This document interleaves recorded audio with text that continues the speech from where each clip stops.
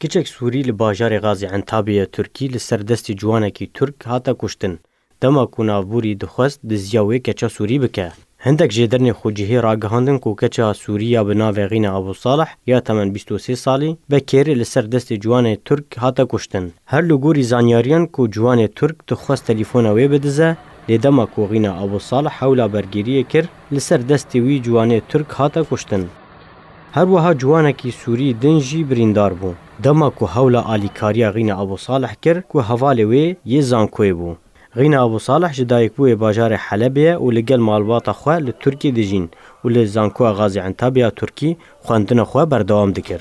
Piştî vê bûyerê hejmarek xwendevanên Sûrî û Tirk li Zankoa Gazi Entabi ketine giravekî wekû fişarekî li ser aliyên berpirs ji bo vekirina lîkolînekî Di vê bûyerê de û sizadana kesên tometbar, her di vê derbarê de hejmarek welatiyên Sûrî yên ku li Tirkiyê dimînin ev kar şermezar kirin û daxwaz kirin ku mafê wan neyê xwarin û sizayekî heq li ser vê bûyerê were standin.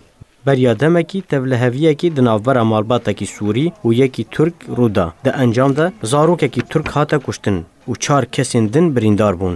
Di encam de hejmarekî welatiyên Tirkî êrîşî dûkanên Sûriyan li bazarê kirin û ew talan kirin. Her wiha êrîşî xodanê wan kirin ku vê yekê hêla hejmarekî mezin ji malbatên Sûrî ji wî bajarî bar bikin.